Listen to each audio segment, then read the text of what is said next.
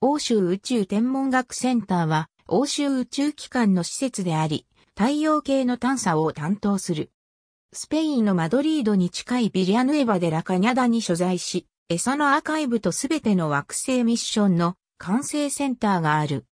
ESAC の航空写真マドレッド060518、マクセロックス007マドリード郊外のこの施設は、地球の大気の上にある宇宙望遠鏡からブラックホールや遠方の銀河、近隣の惑星、さらに太陽系外惑星の画像データが最初に送られ分析される場所である。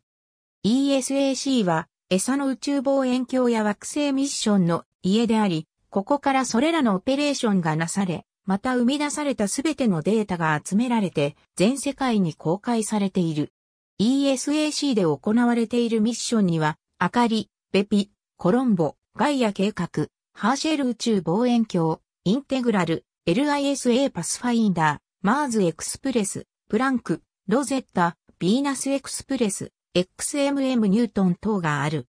深宇宙と太陽系の探査に加え、ESAC は SMOS のデータ処理も担当している。ESAC の活動に不可欠な深宇宙探査アンテナはアビラ県のセブレーロスに位置する。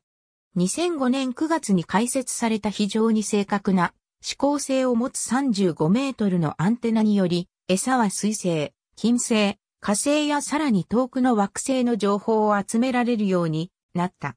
ESAC は餌が他の宇宙機関と共に行うミッションにも参加している。一つの例としては、日本が主導して2006年2月21日に打ち上げられ、赤外線サーベイを行う人工衛星あかりがある。また将来のものとしては、アメリカ航空宇宙局が主導するジェームズ・ウェッブ宇宙望遠鏡がある。また ESAC は、スペインの若い科学者に、天体物理学や基礎物理学の分野への参入を後押しすることを目的とした研究所 Spanish Laboratory for Space, Astrophysics Fundamental Physics も保有している。